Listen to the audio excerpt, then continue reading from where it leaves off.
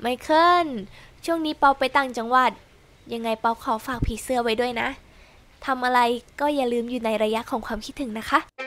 แค่นี้นะ บ๊ายบาย